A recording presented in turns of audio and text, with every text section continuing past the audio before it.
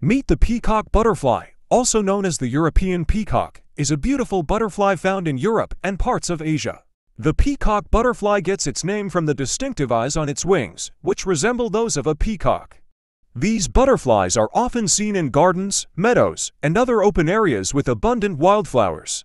Like most butterflies, the peacock butterfly feeds on nectar from flowers using its long, slender proboscis. The peacock butterfly has a wingspan of up to 7.5 centimeters and can fly at speeds of up to 30 kilometers per hour. These butterflies have excellent vision, and their antennae can detect pheromones and other chemicals in the air. The peacock butterfly is not just a beautiful creature, but an important pollinator that helps to maintain the balance of nature in its habitat.